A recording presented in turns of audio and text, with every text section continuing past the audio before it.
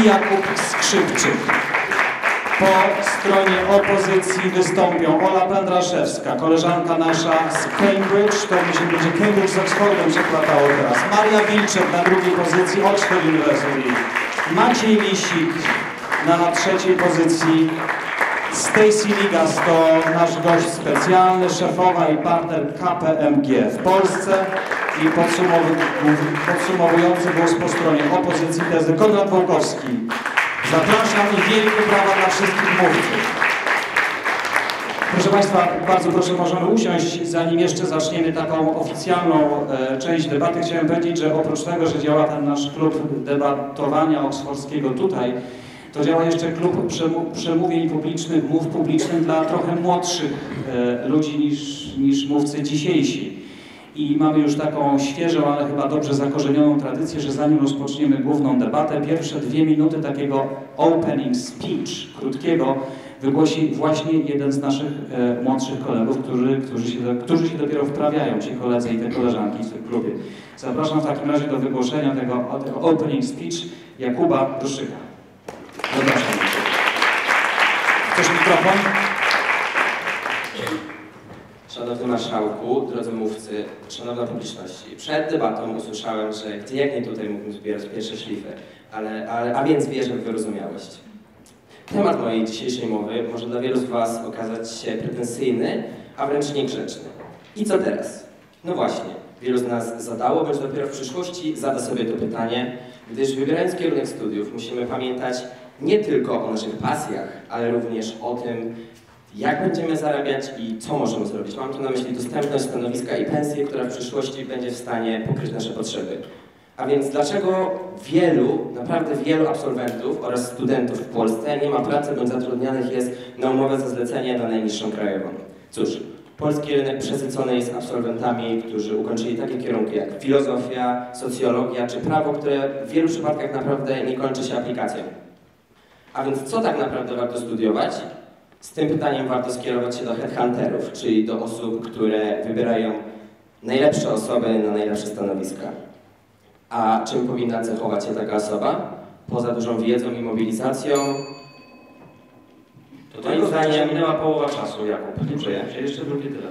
Moim zdaniem powinna mieć smykałkę, czyli talent do danej dziedziny oraz naprawdę dużą dozę szczęścia, bez tego bardzo ciężko w dzisiejszych czasach. Jeżeli chodzi o porównywanie uniwersytetów, to nie sposób porównywać MIT do Politechniki Poznańskiej czy Harvardu do Uniwersytetu Warszawskiego, ale jednego jestem pewien.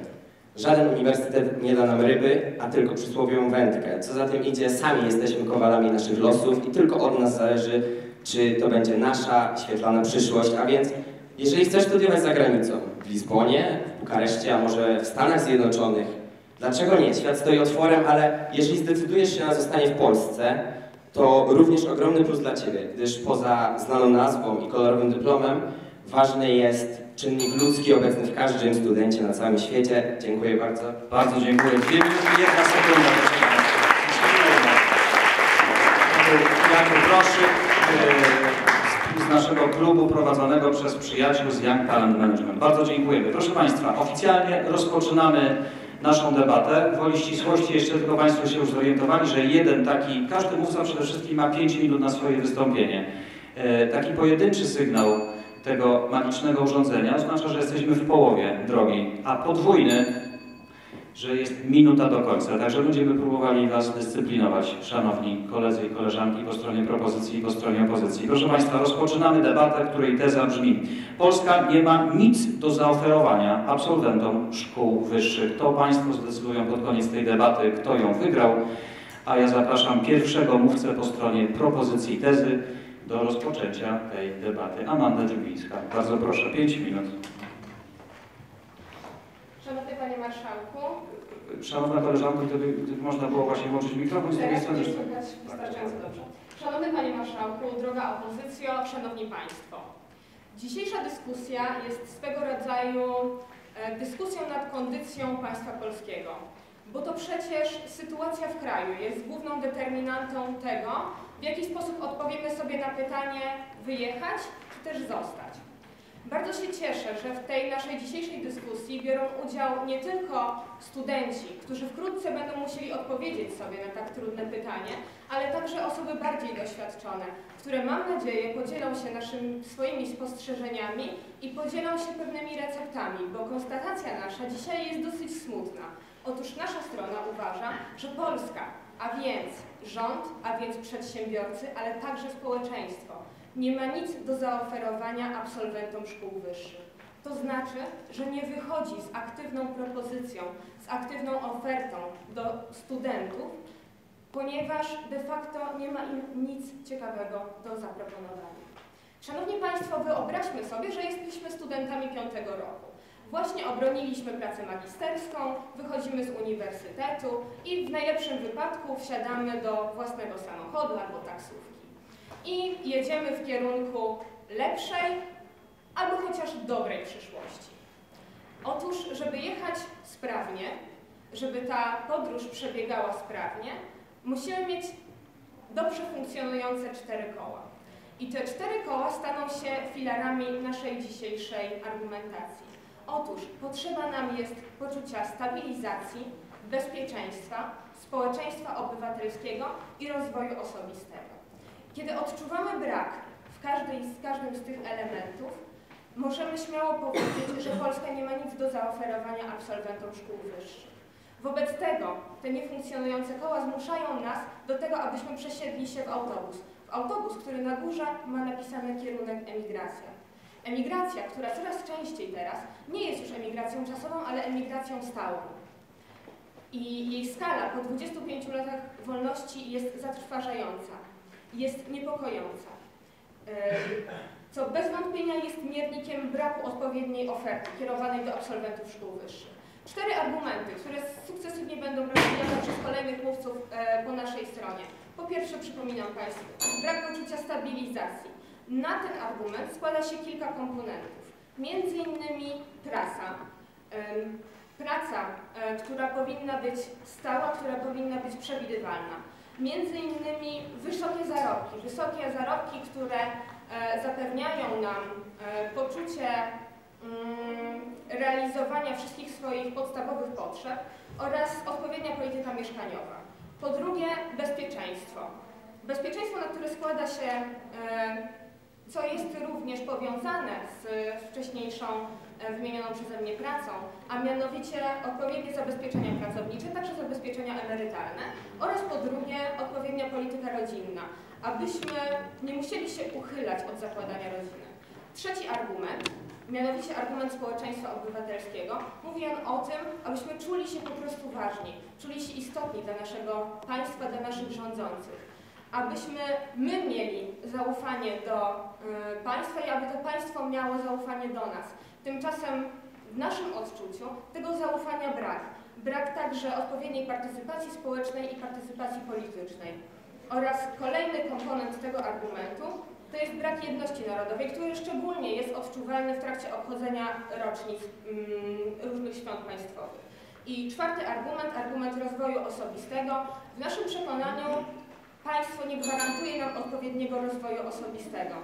E, także nie gwarantuje nam odpowiedniej, odpowiednio, na odpowiednim poziomie komfortowego zakłada, zakładania własnych firm, własnych przedsiębiorstw e, i coraz częściej spotykane u nas, od lat właściwie spotykane u nas kolesiostwo e, i korupcja, które także przekładają się na niemożność rozwoju osobistego. Przypominam Państwu te cztery argumenty. E, braku stabilizacji, braku bezpieczeństwa, braku odpowiedniego poziomu społeczeństwa obywatelskiego i braku możliwości rozwoju osobistego. Dziękuję bardzo. Dziękuję bardzo. Amanda Dziobińska po stronie propozycji tezy, bardzo dziękuję. Szanowni Państwo, chciałbym jeszcze dodać tylko, że każdy z Państwa również, bo mówcy o tym doskonale wiedzą, w każdej chwili możecie podnieść rękę do góry po to, żeby zadać pytanie albo wygłosić komentarz, to nie może być dłuższe niż dwie minuty, a pytanie krótsze niż jedno, najwyżej dwa zdania. Ten czas jest odliczany od ogólnego czasu mówcy, także niczego Państwo nie kradniecie w sensie czasu, jeśli, jeśli takie pytanie zadacie. Jeszcze jedna, jedna osoba, którą zapomniałem przedstawić, Katarzyna Szołucha, która jest sekretarzem tej debaty. Wielkie brawa dla Kasi.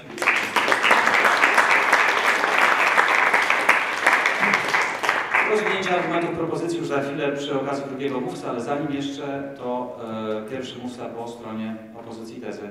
Koleżanka nasza z Uniwersytetu w Cambridge. Zapraszam, Ola Pendlaszewska. 5 minut. Szanowni Państwo, to, że właśnie my stoimy dzisiaj w opozycji do postawionej tezy nie jest kwestią przypadku. Mam nadzieję, że będzie mnie słychać. Każdy z nas wyraża chęć powrotu do Polski po zakończeniu edukacji lub już do niej wrócił. Gdyby Polska rzeczywiście nie miała nic do zaoferowania absolwentom szkół wyższych, nasza decyzja byłaby niczym innym niż objawem postronnenia zmysłu. Oczywiście zdajemy sobie sprawę, że grupa, o której będziemy mówić, absolwenci szkół wyższych, jest bardzo niehomogeniczna. Polska, o której dyskutujemy, powinna być miejscem zarówno dla najambitniejszych, absolwentów najbardziej prestiżowych polskich i światowych uczelni, ale także dla tych, którzy nie mieli wystarczająco motywacji lub szczęścia. O tym, co Polska ma do zaoferowania pierwszej grupie, opowie Maria, przedstawiając znaczenie innowacyjności i niskiej saturacji rynkowej w Polsce dla absolwentów szkół wyższych. Maciej przekona Państwa, że mm, poziom bezrobocia, a także poziom płac nie odbiegają wcale dużo od tego, co mogą nam zaoferować państwa europejskie. Ja postaram się zarysować ramę naszej dzisiejszej dyskusji, a także... Bardzo proszę. Pytanie. E, ponieważ mam stać? Tak, i proszę się przedstawić. E, Michał Kawalec. E, jestem akurat absolwentem Uniwersytetu Edynburgu. E, wczoraj czy przedwczoraj e, wyszły dane GUS-u za zeszły rok i średnia płaca absolwenta brutto, absolwenta szkoły wyższej w Polsce to jest bodajże 2800 zł. To chyba odbiega od średniej płacy w innych krajach. Oczywiście. e, Maciej Dziękuję bardzo. później... Dziękuję bardzo. Maciej opowie później o tym, w jaki sposób przekłada się to na koszty życia w Polsce i dla- dlaczego tak naprawdę w Polsce będzie nam się żyło lepiej. Wracając do tego, o czym mówiłam, e, chciałabym w mojej, e, w mojej wypowiedzi zastanowić się także z Państwem, jak optymistyczna sytuacja gospodarcza w Polsce może rzeczywiście realnie przełożyć się na to, co Polska ma do zaoferowania absolwentom szkół wyższych. Ale wróćmy do definicji.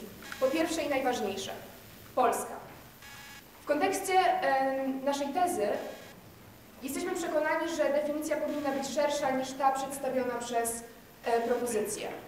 Powinniśmy, powinniśmy myśleć o Polsce jako zarówno jednostce administracyjnej, państwu, narodzie, ale także w kontekście kultury i sytuacji gospodarczej. Jesteśmy przekonani, że ten ostatni element będzie miał do naszej dyskusji kluczowe znaczenie. Nie powinniśmy jednak skupiać się na obiektywnym, realnym rozwoju Polski w kontekście innych państw, ale bardziej na tym, co Polska ma nam do zaoferowania, czyli jakie daje nam szans, szanse i możliwości rozwoju. Na gruncie logiki wystarczyłoby, abyśmy pokazali, że Polska ma do zaoferowania tylko jedną rzecz. Ale aby ta dyskusja była ciekawa i w zgodzie z tym, co wierzymy, będziemy starali przekonać się Państwa do tego, że każdy absolwent ma w Polsce tych szans i możliwości naprawdę bardzo dużo.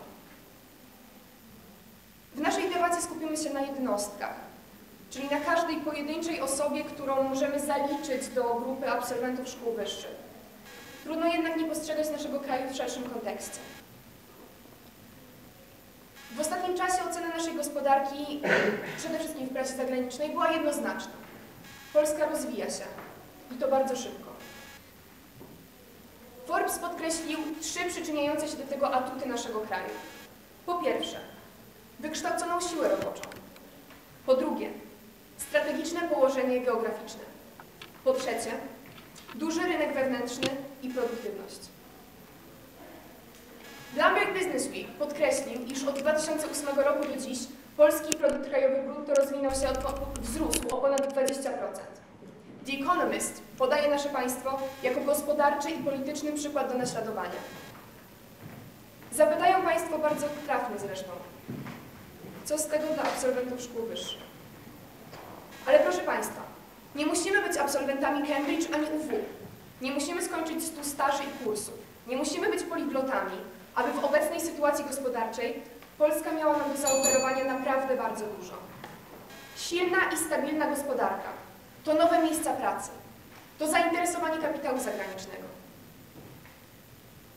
To wreszcie więcej dotacji i rozwój systemów stypendialnych. To więcej szans dla mnie i tysiąca innych absolwentów, którzy staną przed bardzo ważnymi pytaniami wspomnianymi już przez, e, przez propozycję.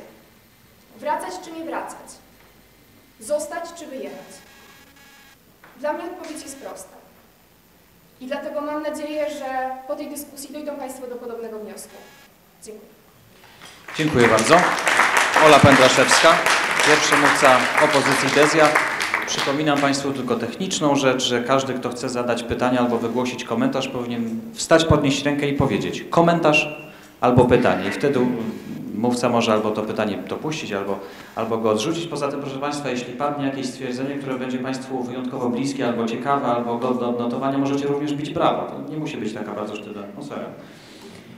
Błażej Papiernik to jest ten człowiek, który jest po drugiej, e, na drugim miejscu po stronie propozycji. Będzie rozwijał argumenty. Błażej reprezentuje Szkołę Liderów.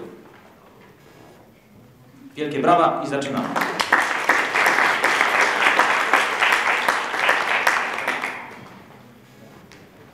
Szanowny Panie Marszałku, Pani Sekretarz, droga opozycjo, Szanowni Państwo, e, moja liderka już na samym początku powiedziała cztery główne argumenty, którymi dzisiaj będziemy się kierować podczas tej debaty.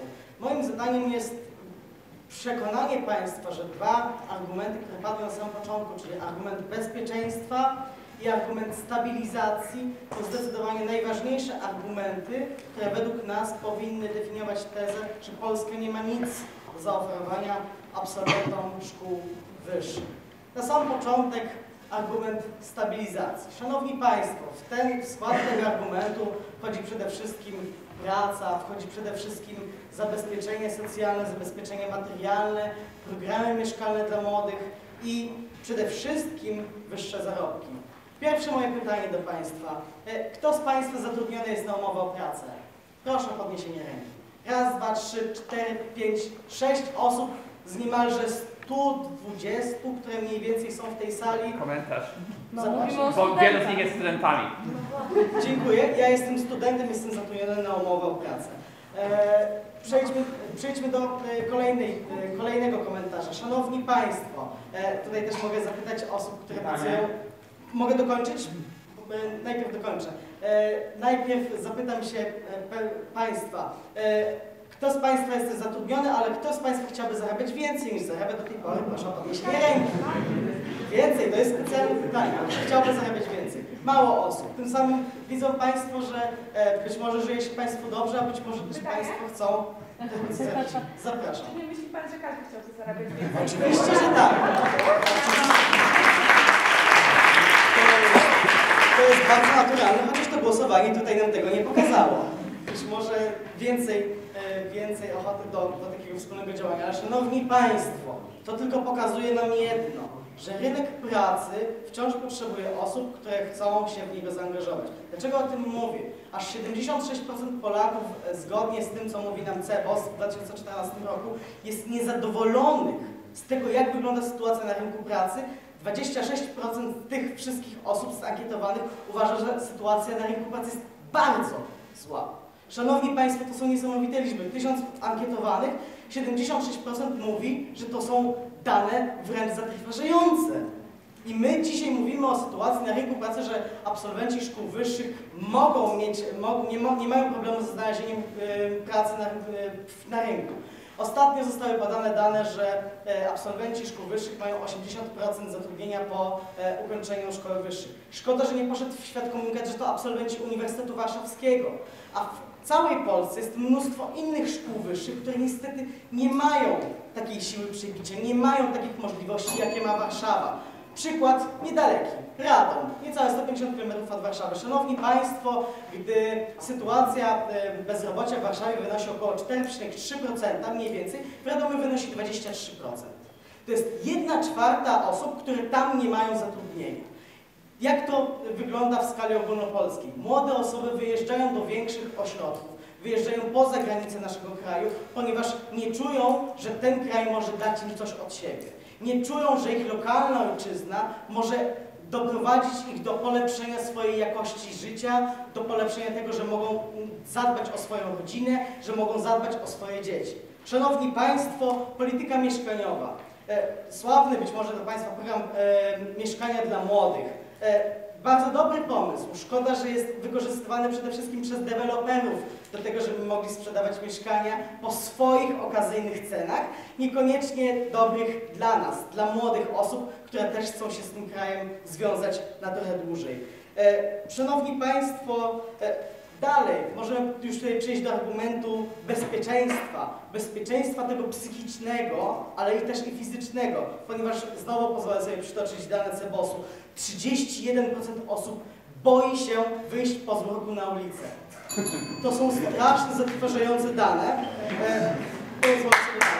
Dalej.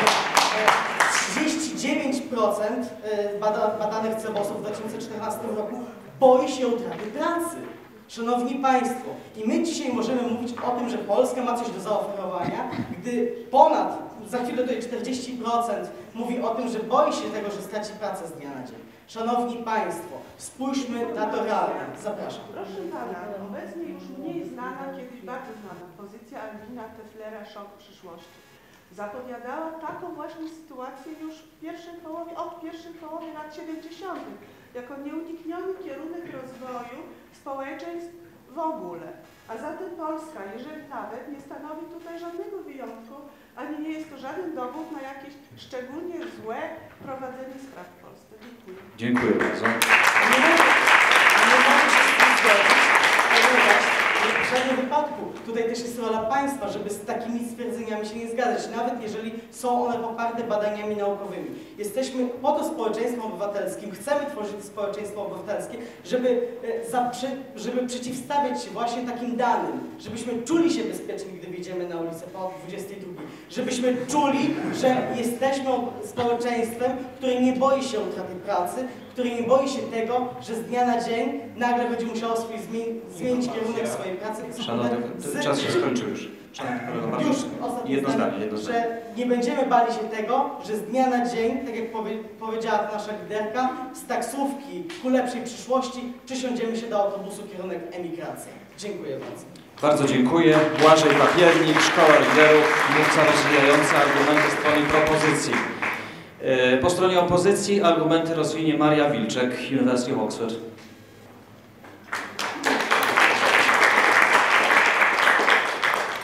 Szanowny Panie Marszałku, droga propozy- propozycjo i Szanowni Państwo. Dzisiaj mam przyjemność sprzeciwić się tej tezie.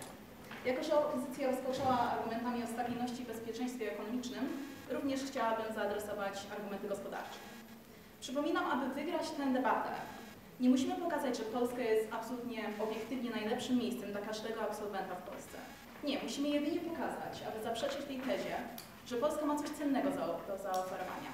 I rzeczywiście ma możliwości. Jest ich wiele, jest ich coraz więcej. Tak propozycja wspomniałam w ramach głównego argumentu, że absolwenci chcą zarabiać więcej. Fair point. E, ale jednym z tych powodów, dla których tak będzie, jest innowacyjność. Innowacyjność pozwala na wykorzystanie tej naszej polskiej nutki kombinowania. I w 2012 roku liczba podmiotów zajmujących się właśnie badaniami i rozwojem wzrosła o 23% w Polsce, a wydatki rosną o 6,2% rocznie. Dla porównania, w innych państwach OECD ten wskaźnik wynosi 1,6. Oznacza to, że Polska może zaoferować absolwentom coraz to większe możliwości pozyskiwania kapitału na inwestowanie we, we własną działalność gospodarczą. To nie tylko z rynku, ale również od państwa. Dla, dla przykładu, samo, centrum, e, Narodowe Centrum Badań i Rozwoju codziennie wypłaca na ten cel 10 milionów złotych. Pokłosie tego już widać na przykład we Wrocławiu, gdzie swoje R&D Census przeniosły tak duże firmy, jak na przykład amerykańskie Whirlpool. Wiąże się to z tysiącami nowych specjalistycznych miejsc dla Polaków. Google zdecydowało się założyć trzecie na świecie centrum, Google Campus, właśnie w Warszawie. Jest to trzecie na świecie, po takich stolicach innowacji jak Tel Awiw i Londyn. W tej specjalnie zaaranżowanej przestrzeni dla startupów studenci mogą brać udział w warsztatach i spotykać się z inwestorami.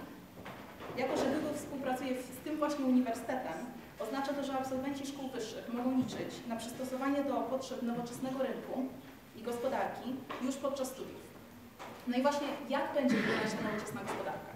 Tutaj chciałabym przejść do drugiej kwestii. Przepraszam, tylko chciałem się upewnić, czy Państwo dobrze słyszą z tyłu? Czy jest słabo słychać? Dobrze, okej, dziękuję, przepraszam. I tą drugą kwestią jest właśnie nasycenie rynku. To, że nasza gospodarka dopiero się rozwija, jest doskonałą okazją dla nas wszystkich. Gdybyście jutro rano wstali i mieli pomysł na startup, na przykład byłby to startup z usługami pocztowymi, bez znacznej przewagi, czy to finansowej, czy kontaktów, na rynkach zagranicznych, głównie zachodnich, mielibyście bardzo małe szanse odniesienia sukcesu. I taką sytuację właśnie miał Rafał Brzoska. Rafał Brzoska, który tak się składa na potrzeby tej debaty, urodził się w gminie Nędza w województwie śląskim. Na trzecim roku studiów wraz ze znajomymi zaczął roznosić ulotki. W tym czasie Poczta Polska miała monopol na przesyłki o wadze 50, do 50 gramów. Chciałabym zauważyć, że takie przesyłki to jest 90% wszystkich przesyłek w Polsce. No i wtedy nowo powstała właśnie firma Impost, zaskoczyła konkurencję, ponieważ firma Impost postanowiła dołączyć małe blaszki do listów, które wzniosły właśnie średnią listów powyżej 50 gramów. Tym samym stała się liderem rynkowym.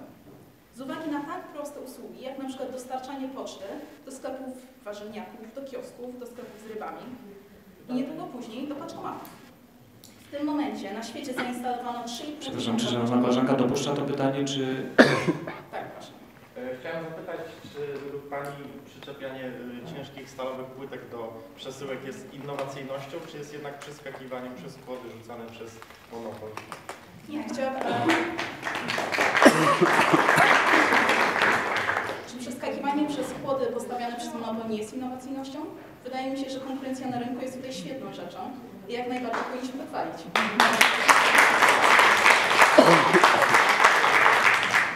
Na świecie w tym momencie jest zainstalowane już 3,5 tysiąca paczkomatów. Produkt, który jest eksportowany z Polski do 22 krajów na świecie, w tym do Arabii Saudyjskiej, do Gwatemali, do Australii, do Chile. E, I tym samym start w Polsce jest możliwy. Tutaj najmłodszym uczestnikiem rankingu Forbesa e, jest właśnie e, Rafał Brzoska. Zajmuje 28 miejsce i jego majątek jest aktualnie wart 700 milionów złotych. I taka sama sytuacja może się zdarzyć komukolwiek w tej sali. Za granicą jest rutynowość, a w Polsce są Szanowna koleżanko, tam jest... Ja tylko bardzo proszę, każdy, kto chciałby zadać pytanie, wstrzymujemy czas oczywiście, proszę wstać i powiedzieć głośno pytanie albo informację, bo nie zawsze można się zorientować. Czy to jest pytanie, czy informacja? Pytanie. Bardzo. Bo, przepraszam, że znowu ja, ale, e, bo to jest kwestia modelu rozwoju, wydaje mi się, e, bo to jest pytanie, czy taki model, nazwijmy to ekstensywny rozwoju, w którym mamy małą ilość osób, która posiada bardzo dużą ilość majątku i dużą ilość osób, która posiada bardzo małą ilość majątku, czyli no, większość absolwentów tutaj, jest dobrym kierunkiem rozwoju dla Polski. Czy to, że są milionerzy, którzy no, są wszędzie, nawet w najgorszych miejscach na świecie, do których Polska oczywiście nie należy, czy to dowodzi tego, że jednak szanse w Polsce są duże? Dziękuję bardzo. E, tak, gdyż chodzi o to, że szanse są. I tutaj opowiadam oczywiście o małej, bardzo ambitnej grupce, ale obraziłabym tutaj większość osób w sali, gdybym powiedziała, że nie jesteśmy wszyscy tacy ambitni. I to, że takie ambicje możemy spełnić, jest właśnie doskonałą wartością polskiej gospodarki. Ale odniesiemy się bardziej szczegółowo jeszcze do tego w przemówieniu Maćka. A więc kontynuując, za granicą jest rutynowość, a w Polsce są cały czas nowe projekty. W Polsce istnieje pewna odwrotna zależność. Im bardziej zacofana spółka, tym większe jest wyzwania i tym większe są właśnie prospekty awansu dla młodszych absolwentów. Na standardy zachodnie prezesi w Polsce, można by powiedzieć, są 15 lat za młodzi. A więc kończąc, chciałam się odnieść tutaj do tej metafory czterech kółek i taksówki. A więc zasugerowano nam, że lepiej się przesiąść w autobus. Dziękuję, muszę niestety skończyć. E, zasugerowano, że lepiej przesiąść się w autobus. A ja bym chciała powiedzieć, że lepiej się przesiąść w pociąg. Pociąg takim, jakim jest właśnie polska gospodarka. Nie pendolino, jesteśmy na dobrych torach. E, tylko polska gospodarka, mimo że jeszcze nie dogoniliśmy innych bardziej zaawansowanych gospodarek, nie powinniśmy patrzeć na tą odległość, tylko na tempo, z którym się rozpędzamy. I najlepsza wiadomość dla nas wszystkich jest taka, że na naszą korzyść ten pociąg jeszcze jedzie stosunkowo wolno. I teraz jest optymalny moment, aby do niego wskoczyć. Dziękuję. Dziękuję bardzo. Maria Wilczek, University of Oxford. Następny, trzeci mówca, proszę Państwa, w tej debacie mamy zdublowaną tę trzecią pozycję. Trzecia pozycja po każdej ze stron oznacza po prostu pozycję polemiczną. Y, Rolą tego mówcy jest y, dyskwalifikowanie argumentów strony przeciwnej i tego zadania po stronie propozycji podjął się Wiktor Jasionowski, Uniwersytet Warszawski. Wszystko się zgadza? Nie, to proszę mnie poprawić. Jest rozwinięcie, rozwinięcie, dopiero tutaj ekspert. Rozumiem, rozumiem, rozumiem. Proszę bardzo, pięć minut. Szanowny Marszałku, opozycjo, Szanowni Państwo. Na początku zaznaczę, że nic nie sugerowaliśmy w wypowiedzi naszej liderki, jedynie stwierdzaliśmy fakty. E, Moim zadaniem będzie rozwinięcie trzeciego i czwartego argumentu. Przypomnę, trzeci argument dotyczył poczucia przynależności do siebie nawzajem, naszej wspólnoty, którą tworzy społeczeństwo obywatelskie. Czwartym argumentem, czwartym kołem natomiast e, jest szansa rozwoju, którą daje nam Polska. I tak, jeśli chodzi o poczucie naszej wspólnoty, no niestety badania z roku na rok pokazują, że jest ono coraz słabsze. Mamy coraz słabsze poczucie zaufania do siebie wzajem. Aż 55% Polaków uważa, że nie powinniśmy... A, przepraszam, proszę. Czy uważa Pan, że w Wielkiej Brytanii, w Holandii, we Francji to poczucie przynależności Polaków jest większe? E, Dziękuję czy bardzo. Polacy, którzy są tam? Czy chodzi o... Poczucie przynależności. Jasne, rozumiem. Mówię tu o trendzie, który jest widoczny w Polsce, nie porównuję e, sytuacji w Polsce do sytuacji na przykład Wielkiej Brytanii czy Holandii. Mówię o tendencji, która jest w Polsce i o tym, że w Polsce to zaufanie do siebie wzajemnie spada.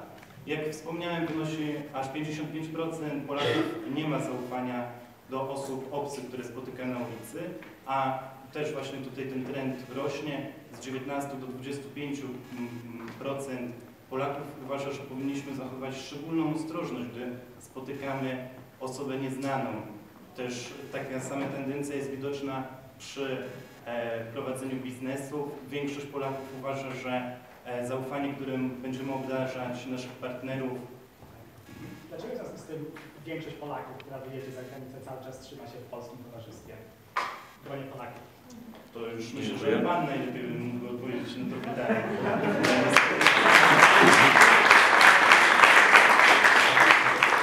Te badania, które tu przywołuję, to są e, badania CEBOS-u, do roku. Tak, proszę.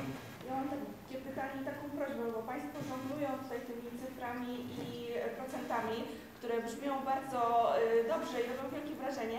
Ale czy mają Państwo jakiekolwiek analogiczne dane z innych krajów, do których mielibyśmy wyjechać, żeby te dane porównać? Dlatego, że 39% czy 26% to brzmi dumnie, ale jak nie możemy tego porównać z, nie wiem, 30 czy 35% z innego kraju, czy nawet 15, to my nie wiemy, czy to jest dużo, czy to Rozumiem. jest Wydaje mi się, że to jest... Dziękuję bardzo.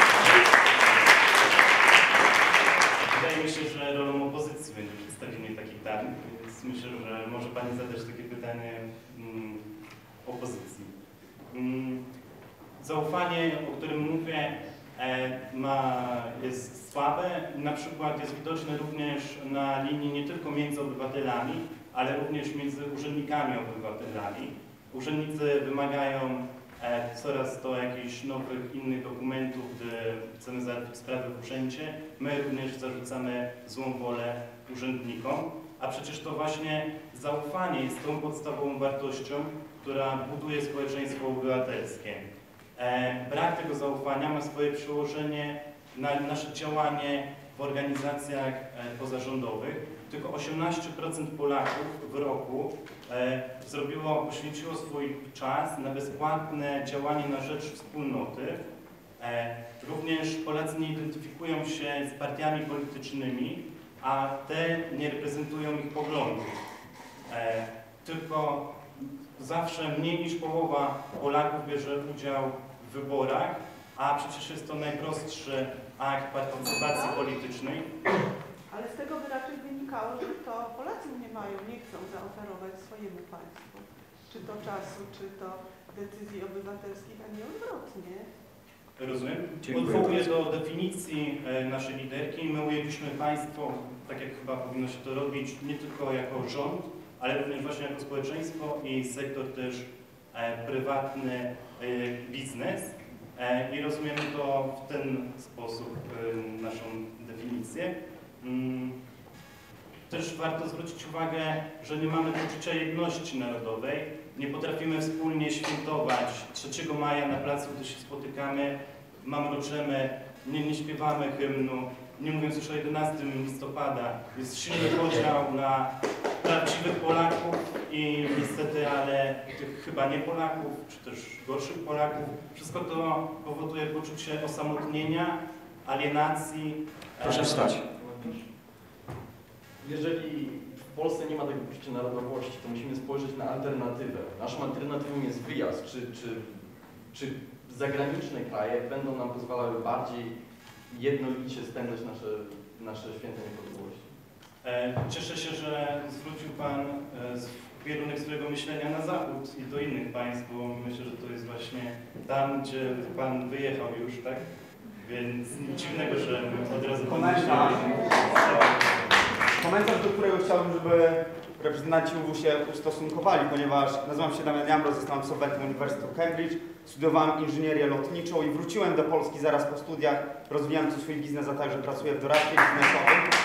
I cały czas Pan próbuje kontratakować moich kolegów, mówiąc, że wyjechał Pan, owszem. Pytania typu, czy wyjechać, czy zostać, są pytaniami błędnymi, ponieważ to, że wyjeżdżamy za granicę, nie oznacza, że nie zdobędziemy tam fachu i nie wrócimy do Polski, aby zmieniać Polskę. Nie zgodzą się Państwo, muszą się Państwo również zgodzić, że lewa strona reprezentuje bardzo pesymistyczne podejście do całego społeczeństwa, do całego kraju polskiego, natomiast prawa strona reprezentuje bardziej optymistyczne. Pytanie, czy nie jest po prostu, pytanie, do którego chciałbym, żeby się Państwo odnieśli, to jest, czy nie powinniśmy w końcu przestać myśleć o problemach, a myśleć o możliwościach, ponieważ problemy tworzą możliwości dla ludzi młodych, dla ludzi starszych, a wspomniane kolesiostwo powinno być bardziej chyba postrzegane jako networking, dzięki któremu możemy razem współpracować i zmieniać Polskę na lepsze. Dziękuję. Dziękuję bardzo.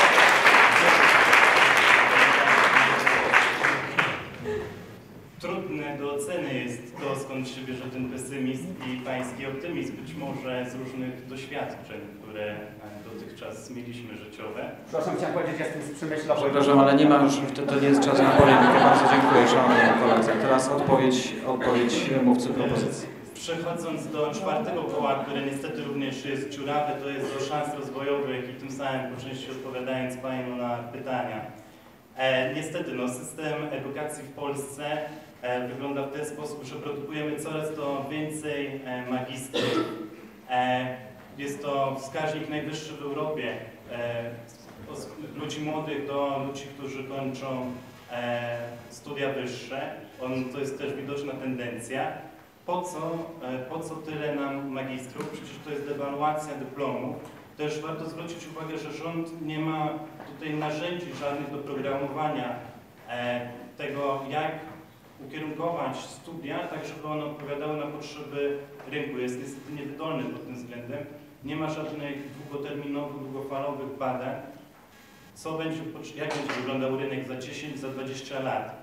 E, również laboratoria e, w Polsce e, uczelni technicznych wyglądają niestety gorzej niż to ma miejsce na zachodzie. Również sfera biznesu nie ma zbyt wiele do zaoferowania absolwentom. Staże, wolontariat, bezpłatne praktyki, praca poniżej e, swoich umiejętności i wiedzy, poniżej kwalifikacji. E, jest to niestety niesatysfakcjonujące, budzi poczucie frustracji. Mm, Własny biznes też jest rzeczą trudną, zważywszy na przepisy. Jest duże obciążenie podatkowe. Państwo w pierwszej kolejności szuka e, podatków właśnie w sferze biznesu. E, Dla Wielkiej Brytanii, dla porównania, gdyby Pan założył biznes, to państwo by pobierało Pana podatek dopiero w momencie, w którym pan, Pana firma by przynosiła zyski. Dlaczego nie jest tak u nas w państwie? Dlaczego tak się nie dzieje? Kolesiostwo i korupcja, tutaj już mam mało czasu, więc się ograniczę tylko do paru słów. Mianowicie człowiek, absolwent, gdy wychodzi z uczelni, napotyka mur, mur kolesiostwa i właśnie korupcji, gdzie jego wiedza i umiejętności nie znaczą nic. Jeżeli on nie ma znajomości, to niestety nie dostanie tej pracy. Od procent korupcji w Polsce jest jeden z wyższych w Europie, wynosi 15%, gdy dla porównania w Hiszpanii, czy w Portugalii, czy na Słowenii to się waha między 1 a 3%. Szanowny kolego, bardzo dziękuję. Dziękuję bardzo. Wielkie brawa. Wiktor Jaszynowski, Uniwersytet Warszawski, trzeci mówca po stronie opozycji tezy Maciej Lisik, Oxford.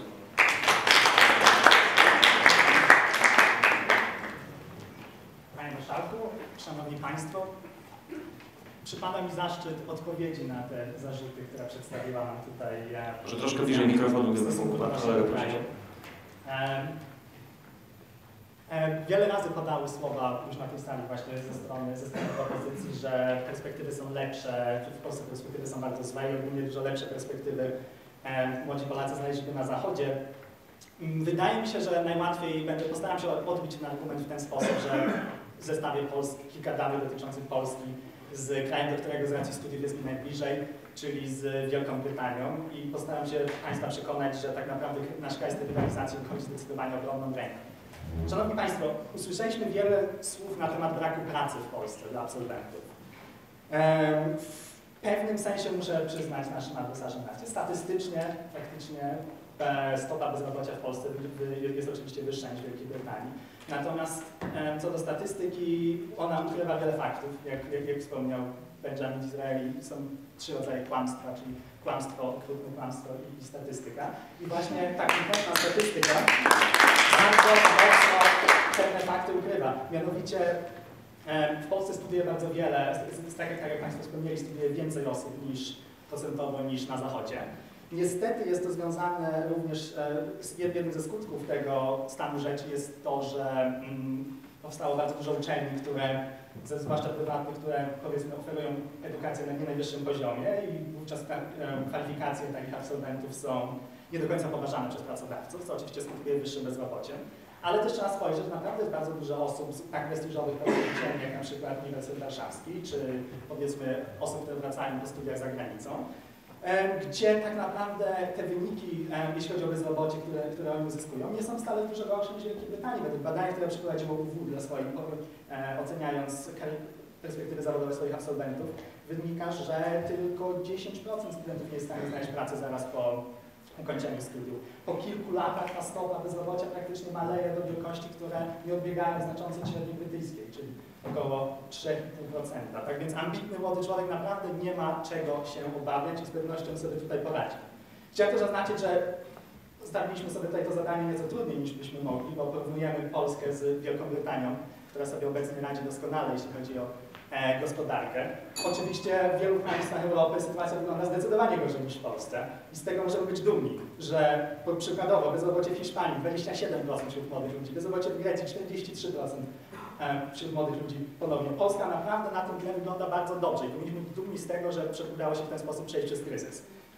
Na rzecz, e, na, na, na plus naszego kraju bo działa też e, fakt, który został wspomniany przez, przez Marię, że coraz więcej, coraz bardziej wzrastają inwestycje, także przez te wykonywane przez sektor prywatny. I to według raportu, ostatniego raportu FOR sugeruje, że powinno dalej maleć bezrobocie, ponieważ te dwie rzeczy są bardzo mocno negatywnie skorelowane. Szanowni Państwo, chciałem teraz przejść do drugiej części, e, drugiego zarzutu, który się tutaj pojawia, czyli tego, że pensje są zdecydowanie niższe w Polsce. Cóż, em, opozycja mówi, że, że, że ta przepaść jest dramatyczna. Zobaczymy, czy potwierdzają to dane.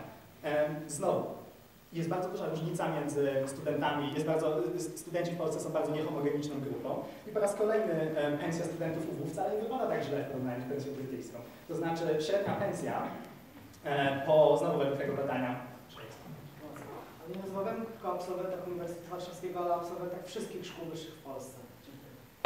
Tak, oczywiście, ale my się tutaj postanowiliśmy skupić na absolwentach UW, po części z tego względu, gdzie, gdzie jest to miejsce, a po części, żeby pokazać, że istnieją możliwości. Nie musimy udowodnić, że e, każdy znajdzie to jest źle. Musimy udowodnić, że Polska ma coś do zaoferowania. I właśnie s- staramy się pokazać to, że jeżeli ktoś wybierze, jest ambitny, wybierze odpowiednią uczelnię, na pewno nie będzie miał problemu ze znalezieniem później dobrej pracy, która, za którą będzie godnie wynagradzany.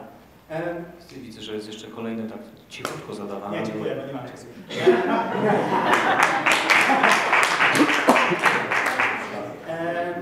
Tak więc, wracając do badań, wyszło, że studenci UW po absolwenci UW zarabiają średnio 5 tysięcy złotych miesięcznie.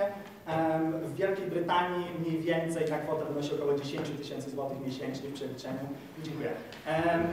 Trzeba wziąć pod uwagę, że te 10 tysięcy złotych tak jest zawyżane przez to, że Wielka Brytania ma unikatową rzecz, czyli londyńskie City. Się może wydawać, że to jest duża różnica, bo to jest dwukrotna różnica, ale to nie uwzględnia parytetu siły nabywczej, gdzie tak naprawdę w Polsce towary są zdecydowanie tańsze. Przykładowo Big Mac 30% tańszy w Polsce niż w Wielkiej Brytanii, pół litra wódki w Polsce 20 zł, w Wielkiej Brytanii 14 zł. Mieszkanie w Warszawie 3300 zł średnie, średni, średni koszt wynajmu. W Londynie e, 1160 funtów, czyli 6300 6300 zł. Według tego, według danych Eurostatu na nieco wyższym poziomie ogólności, tak naprawdę życie w Polsce jest prawie równo dwa razy tańsze niż życie w Wielkiej Brytanii. W związku z czym argument, że pensje są niższe jest prawdziwy, ale tylko i wyłącznie w nominalnym wymiarze, a nie w wymiarze realnym, bo jakość życia, którą można kupić za pensję, która się w Polsce zarabia, jest bardzo podobna jak jakość życia w Wielkiej Brytanii. Kończąc, chciałem powiedzieć, że miałem doświadczenie pracować i w Polsce, i w Wielkiej Brytanii. Uważam, że praca w Wielkiej Brytanii była doskonałym przeżyciem, bardzo dużo się nauczyłem, ale to jednak w Polsce nauczyłem się zdecydowanie więcej. Zostałem od razu rzucony na głęboką wodę, dostałem dużo więcej odpowiedzialności i jakość życia, którą tutaj miałem, była zdecydowanie wyższa. Tak więc, Szanowni Państwo, chciałbym bardzo prosić Państwa o to, abyście wzięli wszystkie te rzeczy pod uwagę przy podejmowaniu decyzji i zagłosowali przeciwko tej debaty. Dziękuję. Maciej Lisik. Maciej Lisik. Wielkie brawa. Proszę Państwa, przed nami wystąpienia mówców polemicznych i to naszych mówców specjalnych. Bardzo dziękujemy, że Państwo przyjęli zaproszenie do tej debaty. Pan Andrzej Sadowski, Centrum imienia Adama Smitha. Pięć minut. Wielkie brawa. Zapraszamy. Panie Marszałku, Szanowni Państwo, sądzę, że nie będę musiał dużo mówić, aby Państwa przekonać, że jest tak, jak twierdzimy. Chcę przypomnieć, że 7 lat temu mieliśmy wyjątkową sytuację, kiedy przed ambasadą Wielkiej Brytanii ustawiały się kolejki młodych Polaków, którzy chcieli głosować i zagłosowali nad zmianą w Polsce. Taki wyjątkowy moment zdarzył się jeszcze raz w historii niedawnej Polski, bo to był rok 89, kiedy ambasady i konsulaty na całym świecie były oblężone, aby nasi obywatele chcieli brać w wyborach 4 czerwca yy, udział. To tylko świadczyło o tym, że chcieliśmy zmiany w naszym kraju, zmiany, która nie nastąpiła. Stąd już kolejne wybory były nie tak licznie e, reprezentowane przed polską ambasadą. Co się takiego stało przez 7 lat, że ta nadzieja, która została rozbudzona, zwłaszcza wśród młodego pokolenia, nie została zrealizowana? Otóż e, pracy jak nie było, tak nie ma. Polska jest krajem e, dwucyfrowego bezrobocia już od ćwierć wieku.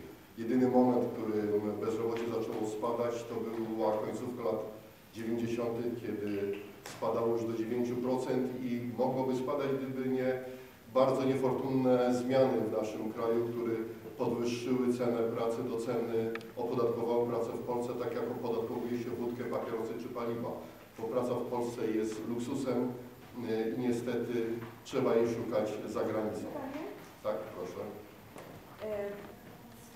Skoro jest tak, że nie ma pracy, jak Pan powiedział i świadczy e, za tym statystyka, to jak to się dzieje, że pracodawcy szukający osób do pracy na bardzo wysokich i bardzo atrakcyjnych stanowiskach szukają miesiącami i nie mogą znaleźć?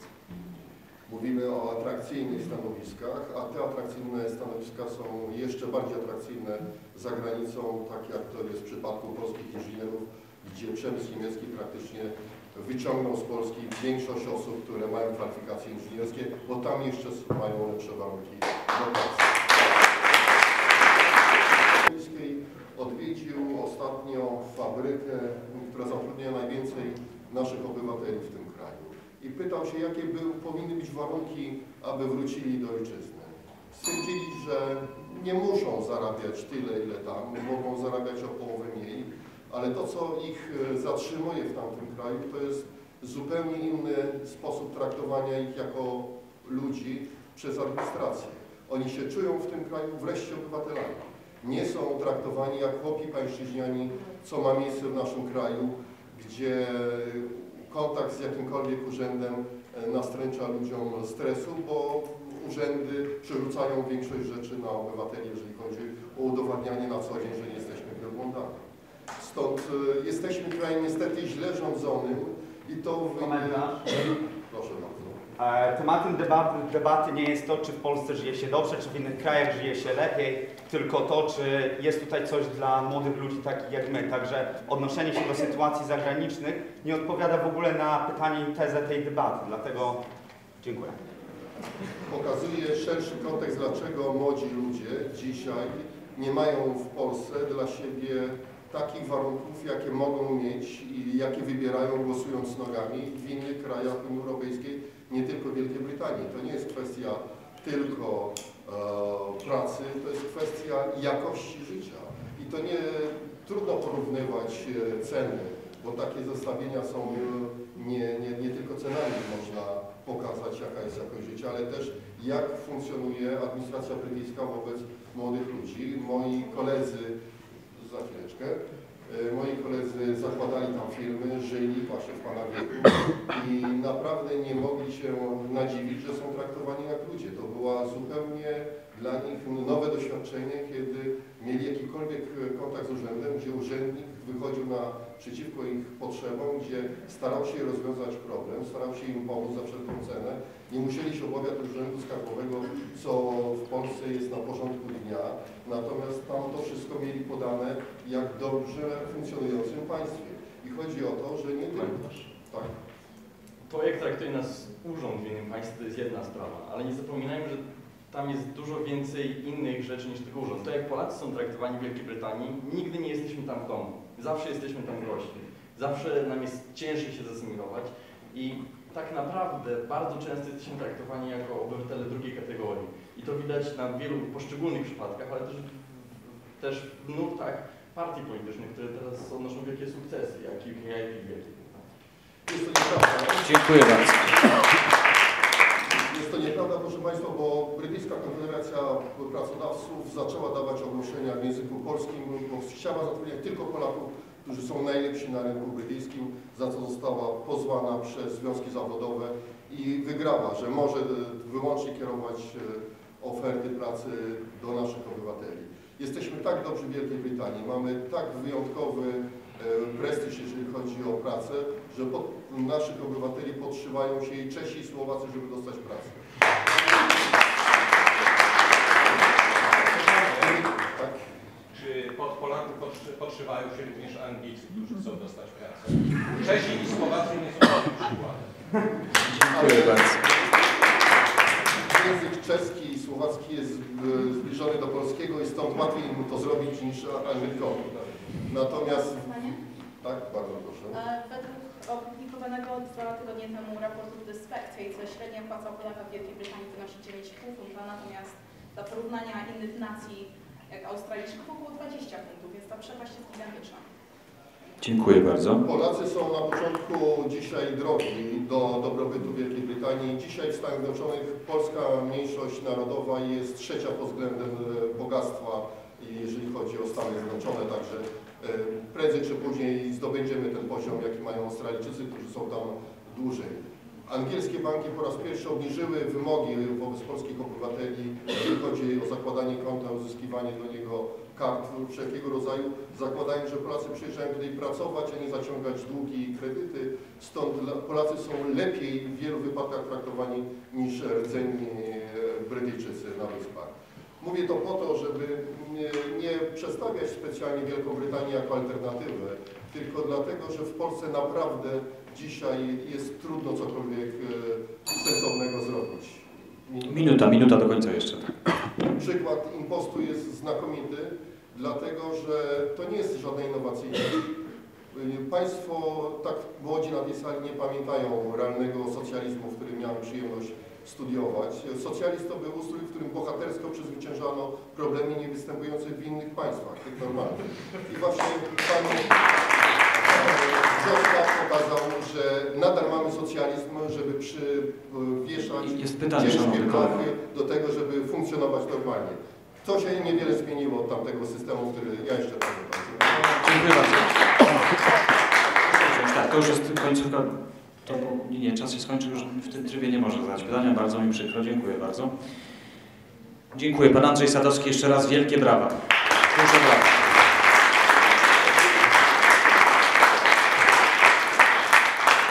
Przed Państwem wystąpi czwarty mówca opozycji tezy, Stacy Ligas z KPMG Polska.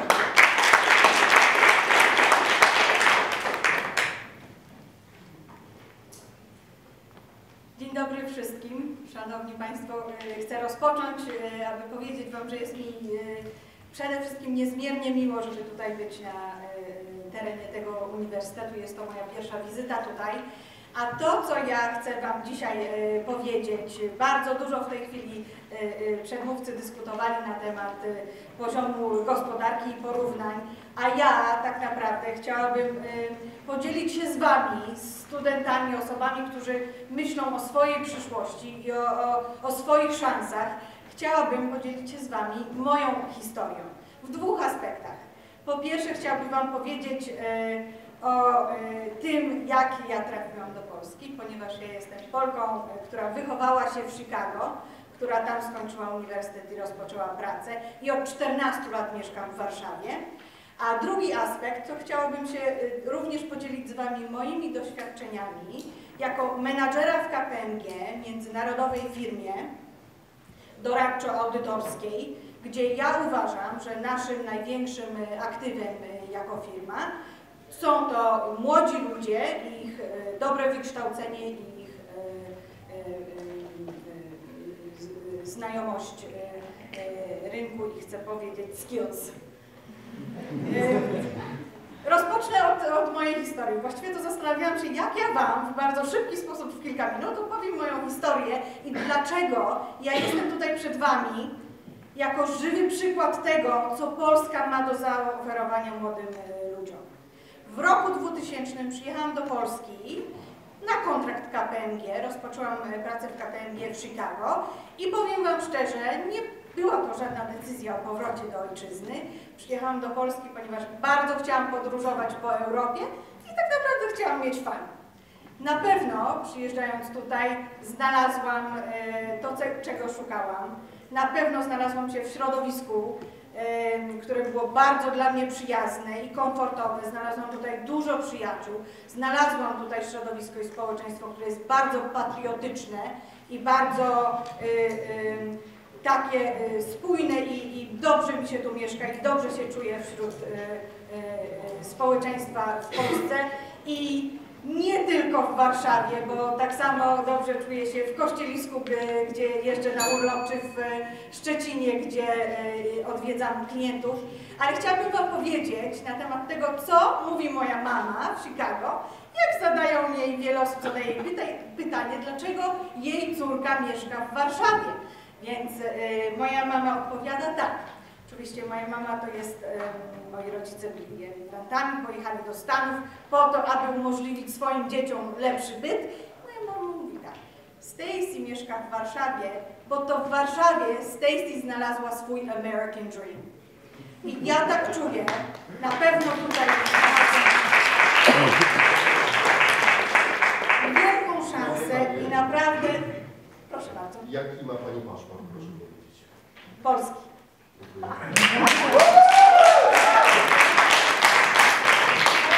Chcę o tym powiedzieć, dlatego że głęboko wierzę, że i dzisiaj przed Wami stoją naprawdę olbrzymie szanse. Po części rzeczywiście y, dla, dla tych argumentów, które tutaj nasza opozycja y, mówi. Niewątpliwie nie można mówić, że, że polska gospodarka czy, czy stan y, y, tutaj nasz jest y, super y, zdewelopowany. Na pewno jest tutaj wiele do zrobienia. I jestem również przekonana, że Polska będzie gonić Europę pod wszystkimi e, standardami. I standardami biznesu, i gospodarczymi, i z e, standardami życia. Dlatego uważam, że to właśnie przed Wami jest wielka szansa i będziecie też Jest pytanie, czy szanowna koleżanka przyjmuje to pytanie, czy odrzuca? Momencik dokończę. Ale to nie ma takiej formuły, momencik dokończę. Albo przyjmujemy, albo odrzucamy, bo można odrzucić. Przy- Przyjmuję. Dzień dobry, Waldemar Razik. Ja pracuję, pracuję z inwestorami, też zagranicznymi. Czy Pani wie o tym, że polski rząd pokazuje tych Państwa tutaj zgromadzonych, wykształconych jako tanią siłę roboczą? Nie jako miejsce, e, Polska jako miejsce, gdzie się inwestuje w innowacje, gdzie jest tania siła robocza, tańcząca do tego, jak, z- jak zagrają inwestorzy zagraniczni. Czy ma Pani tą świadomość, że e, ci młodzi ludzie są prezentowani jako tania siła robocza. Dziękuję panu bardzo.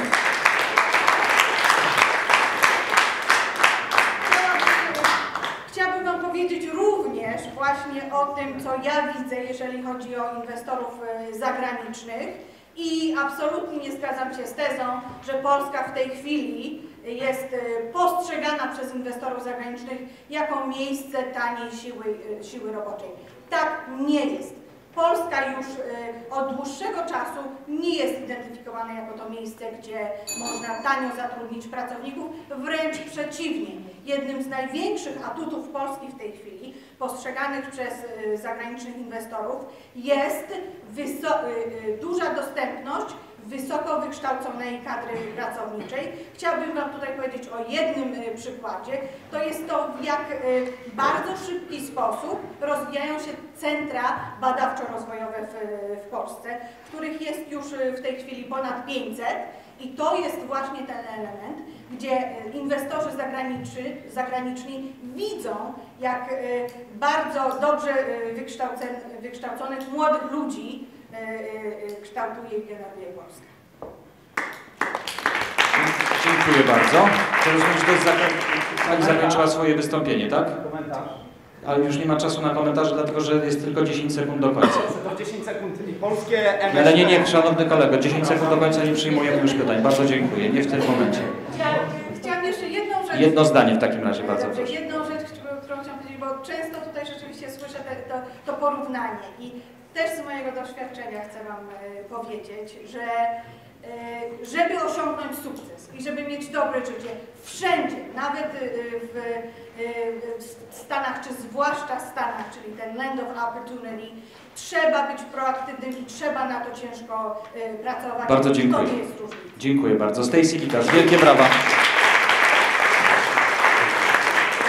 I proszę Państwa, podsumowujące wystąpienia każdej ze stron i po stronie propozycji tezy wystąpi przed Państwem Jakub Skrzypczyk, Szkoła Liderów.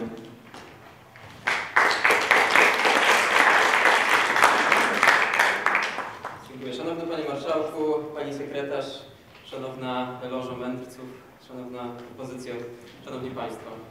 E, zarzucono nam, że stoimy po stronie pesymistów. E, mam wrażenie, że my jesteśmy jednak tą grupą realistów.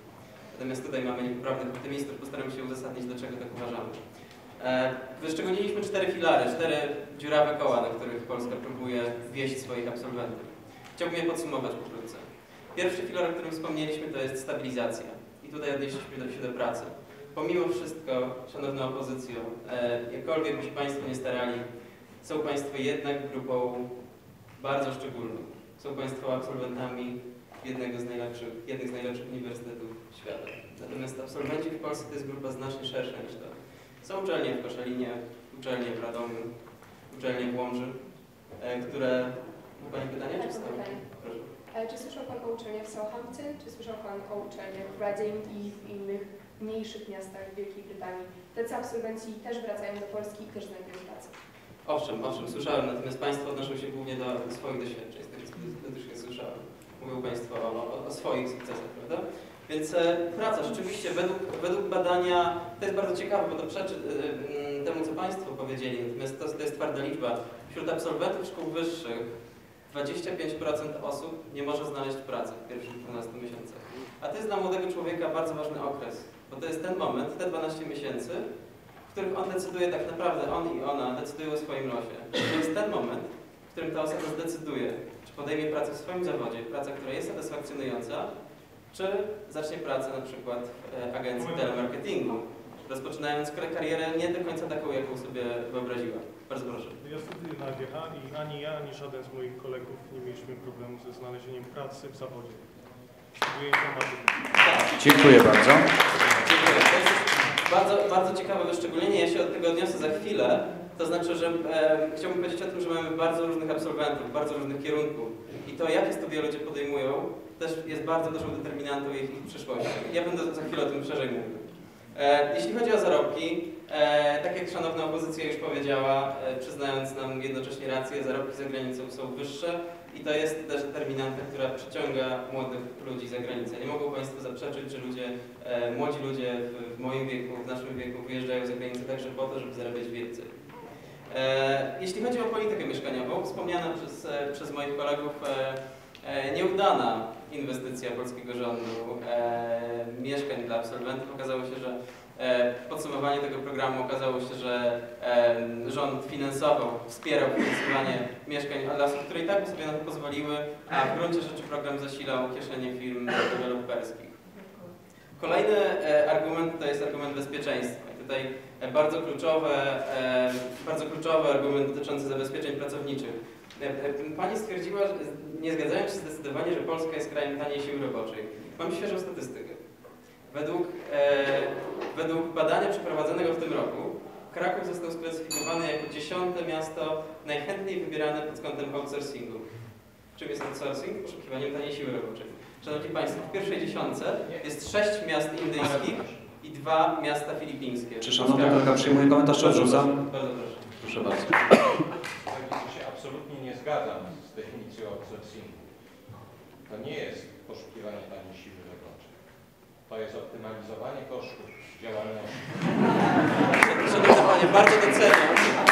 To jest, Czy mogę, czy mogę skończyć? To jest optymalizowanie kosztów prowadzenia działalności poprzez wyprowadzanie na zewnątrz pewnych funkcji z przedsiębiorstwa i korzystanie z ekonomii skali. Nie ma to nic wspólnego z szukaniem taniej siły roboczej.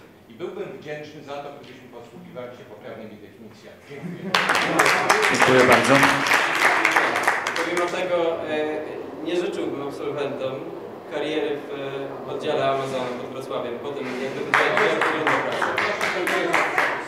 Natomiast Jest zbyt dużo pytań, bardzo przepraszam, nie mogę przyjąć wszystkich, chciałbym, chciałbym skończyć. e, Jeśli zostanie mi czas na koniec, to obiecuję, że, że pytania przyjmę. E, a zatem polityka rodzinna. Bardzo ważny element, widzę, że na sali mamy większość kobiet. Niestety Polska systemowo nie jest wciąż przygotowana do tego, żeby kobiety i mężczyźni jako absolwenci na rynku pracy, wchodzący na rynek pracy, którzy jeszcze chcą być może założyć rodzinę, byli traktowani równo. Wciąż kobiety starają się z tym, że według też obowiązującej w Polsce kultury i bardzo często nacisku rodziców, to kobiety muszą zajmować się dziećmi, brakuje żłobków, brakuje przedszkoli i kobiety muszą karierę przerywać bardzo często po to, żeby rodzinę założyć. Bardzo proszę, bardzo krótko, jeśli mogę powiedzieć. Sekund, prze- przepraszam Państwa, zróbmy sobie 10 sekund przerwy, zatrzymajmy czas, bo zdaje się, że ktoś po prostu chciał zaświecić światło, jeśli dobrze rozumiem, bądź go zgasić. Stało się, dobrze. Mogę W związku z tym, że kole... sekundkę jeszcze, niech mi kolega pozwoli skończyć, w związku z tym zamieszaniem chyba uszczknęliśmy koledze dobre 50 sekund, więc dajemy, dajemy tak, do, do, dostanie, dostanie to kolega na koniec tego wystąpienia. Mamy 3 minuty 20 sekund na tym zegarku, doliczamy jeszcze minutkę.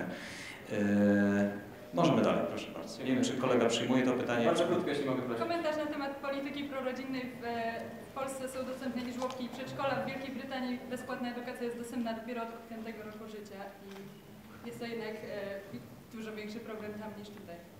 Dziękuję za komentarz. Ja chciałbym uniknąć e, dokonywania tak jednoznacznego porównania. W tej debacie nie skupiamy się na, e, nie robimy studia porównawczego Polski i Wielkiej Brytanii. Ja odnoszę się do tego, że w Polsce wciąż e, absolwentki szkół wyższych, które zechciałyby założyć rodzinę, mają znacznie trudniejszą sytuację niż absolwenci, niż absolwenci, niż mężczyźni. E, pomimo wszystko żłobków i przedszkoli jest niewystarczająca liczba, choćby w Warszawie. Jednak jednak jest to wie- wielka bariera w, dla młodych ludzi. Pytanie? E, za chwilę, dobrze? Skończę. skończę. Wystarczy powiedzieć dziękuję, szanowny kolego. Dziękuję. I dziękuję za Dziękuję. E, kolejny argument, który e, nasza strona przytoczyła, to szerokie pojęcie społeczeństwa obywatelskiego i poczucie przynależności do, do grupy, w której się żyje. Przypominam, to jest jedna z bardzo ważnych kategorii drabiny potrzeb Masłowa. E, jak Państwo z doświadczenia na pewno wiedzą, w Polsce zamiast systemowej przychylności bardzo często mamy do czynienia z systemową nieufnością do obywatela, zarówno po stronie państwa, ale też w relacjach międzyludzkich. Wszyscy trochę to przyporządkowujemy poprzedniemu systemowi, natomiast mamy, nie możemy zaprzeczyć temu, że w Polsce ta nieufność e, występuje, jak choćby przy okazji zakładania przedsiębiorstw czy kontroli e, Urzędu Pracy przy przedsiębiorstwach, które zostały już e, założone, korzystając z dotacji. Poziom partycypacji, jak już, dziękuję.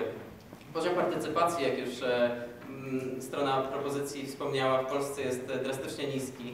E, Nie angażujemy się w życie, jesteśmy zawiedzeni e, kondycją klasy politycznej, czujemy, że politycy nas nie reprezentują, a większość z nas uważa, że mówią w swoich interesach głównie, idąc do polityki. Rozwój osobisty i edukacja to jest, ma, ma kolosalne znaczenie dla, dla sytuacji absolwentów w Polsce. Mamy, proszę Państwa, do czynienia z produkcją masową absolwentów. I to państwo e, w bardzo dużym stopniu nie kontroluje, w jakich kierunkach my się rozwijamy. A młody, młody człowiek w wieku 19 lat nie do końca wie, w, jakim, w jakiej sytuacji jest rynek pracy. Młody człowiek potrzebuje pewnego mentoringu i nakierowania na określone kierunki. W, w kraju, w którym Państwo studiowali, rząd zamawia specjalne ali- analizy, które pozwolą im stwierdzić, jakie kierunki będą przydatne za 10, 20, 30 lat. Polski rząd tego nie zrobił, budując e, program kierunków zamawianych oparł się na obecnej sytuacji. Stąd też e, wielu absolwentów, na przykład europeistyki z, e, z Politechniki Koszalińskiej, którzy, jak Pan może się spodziewać, nie, ma, nie mają łatwego, e, łatwego poszukiwania pracy. A zatem, Szanowni Państwo, podsumowując, podsumowując nasze wystąpienie, mam nadzieję, że staną Państwo po stronie propozycji, że Polska niestety, niestety nie ma nic do zaoferowania absolwentom szkół wyższych. Bardzo dziękuję. Jakub Skrzypczyk, Brawa, Szkoła Liderów. I ostatnie wystąpienie, miejmy nadzieję, że bez udziału rolet okiennych. E, Kolega z Uniwersytetu w Cambridge, tym razem Konrad Wołkowski podsumowuje stronę opozycji. Brawa, 5 minut.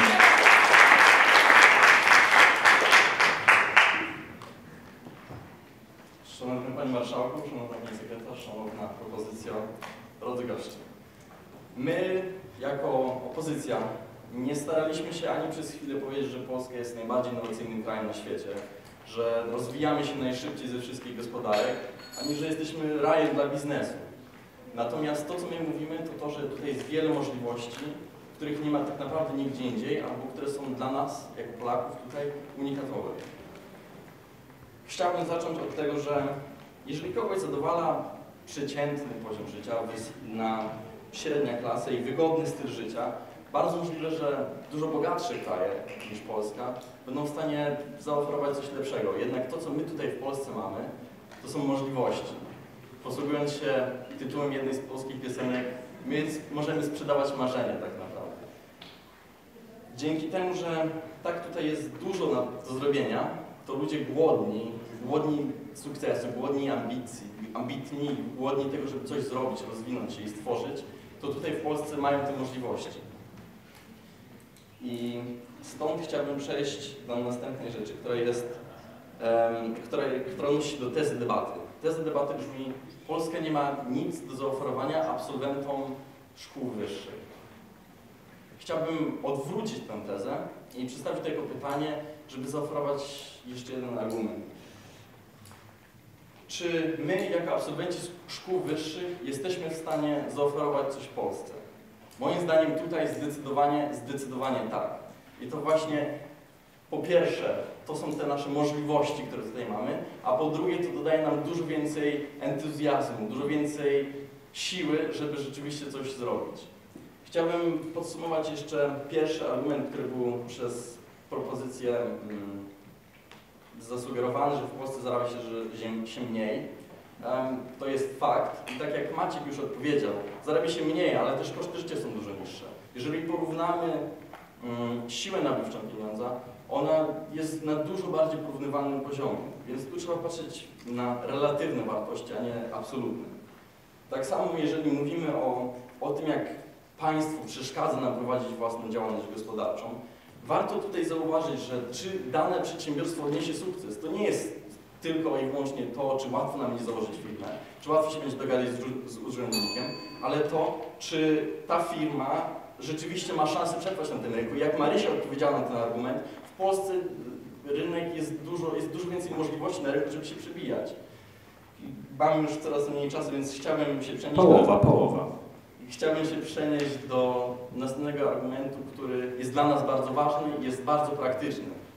Witold Sobokow, e, z Sobków, polski ambasador Wielkiej Brytanii, mówi, że fala migracji się skończyła. Dlatego, że Polacy chcą wracać tam, gdzie jest ich dom. Niezaprzeczalnie w Polsce mamy coś, czego nie ma nigdzie indziej. Mamy mamy własny język, mamy własną kulturę. I to bardzo widać na każdym kroku. W szczególności dla nas w Wielkiej Brytanii nasze polskie stowarzyszenia są jednymi z silniejszymi, jednymi z silniej jednoczących Polaków.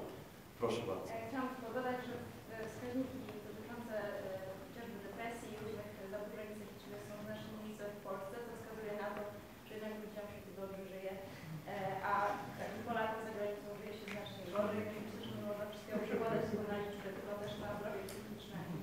E, Brak jest starań.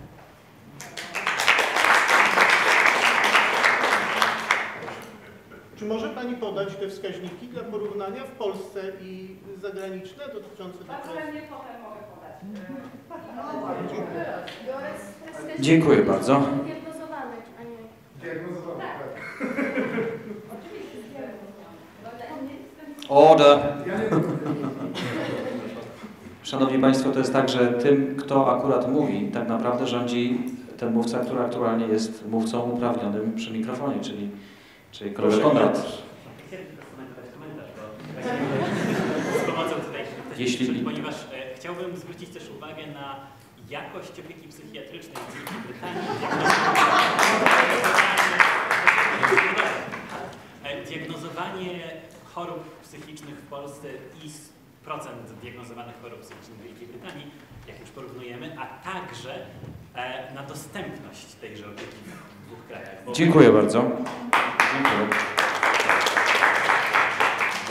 Więc jeżeli mówimy o poczuciu narodowości w Polsce, że jest niejednolite, tutaj nie można patrzeć, tak samo jak w liczbie, nie można patrzeć na absolutną wartość, tylko trzeba spojrzeć relatywnie. Jeżeli naszą al- alternatywą jest zagranica, to wcale tam tego poczucia narodowości naszej Polski nie będziemy mieć więcej. To tylko pokazuje, że my chcemy wrócić i że mamy te możliwości tutaj, nigdzie indziej. Komentarz? Komentarz, proszę. Ja w ogóle widzę, że obie strony rozkładają się tak. Ta strona uważa, że są problemy i można ich przezwyciężać i co trzeba zrobić, żeby trudności przezwyciężać. Ta strona mówi tak, są problemy, dawajmy nogę, bo to nie ma co. Dziękuję.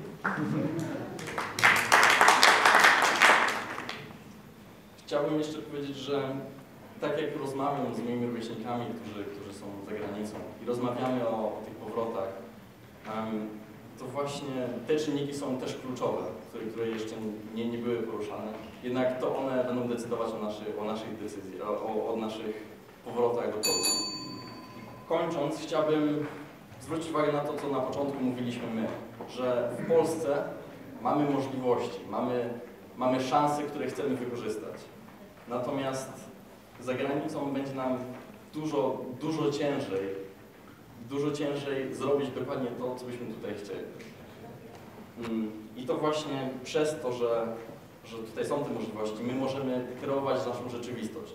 Możemy, możemy mieć wpływ na to, jak nasze życie tutaj będzie wyglądało. I uciekając, decydując nogami, żeby gdzieś dalej wyjechać, nie będziemy mieć na to szans. Dziękuję. Dziękuję bardzo. Konrad Wołkowski, wielkie brawa. Proszę Państwa, zakończyliśmy główną, zakończyliśmy główną część tej debaty. Kto z Pań i Panów na sali siłą swoich argumentów chciałby zabrać głos po stronie propozycji tezy? Bardzo proszę. Proszę tutaj podejść do mikrofonu, przedstawić się. Ma Pan, co prawda przewidziane jest dwie minuty, ale ustalmy taką zasadę, że to będzie półtorej, dlatego że jesteśmy już dość daleko posunięci w czasie. E, Ja nazywam się... To włączyć? Tak. Tak. Ja nazywam się Michał Strzałkowski, jestem ze Szkoły Głównej Handlowej w Warszawie. E, przepraszam z góry za może chaotyczną moją wypowiedź, ale nie przygotowywałem się do niej. Podjąłem tę decyzję 5 sekund temu. E, w każdym razie chciałem się odnieść tutaj, bo spieraliśmy się trochę e, o dwie różne rzeczy. To znaczy spieraliśmy się o to, czy będąc przedsiębiorczym, ambitnym i zdolnym można coś osiągnąć, co do czego mi się wydaje każdy się zgodzi. I z drugiej strony spieraliśmy się, ta, ta strona to się spierała, że Polska nie ma nic do zaoferowania. E, Po której stronie muszę jednak stanąć, bo e, co innego jest e, e, co innego jest osiągać sukces, będąc po prostu w jak- jakichkolwiek, będąc w jakichkolwiek warunkach, czy ciężkich, czy nie. I według, według mnie jesteście dobrym dowodem tego, że można nawet w polskich warunkach osiągać sukces. A co innego jest e, wyważać drzwi, które można z łatwością otworzyć w Polsce i to moim zdaniem robi polskie państwo, e, chociażby e, podnosząc limity na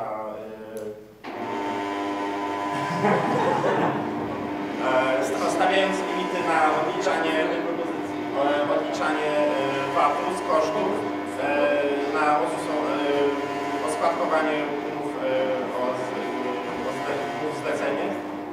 i szeregu innych e, obciążeń, którymi, e, którymi bombarduje polskich przedsiębiorców i, i, i, e, i polskich pracowników. I właśnie odnosząc się jeszcze do...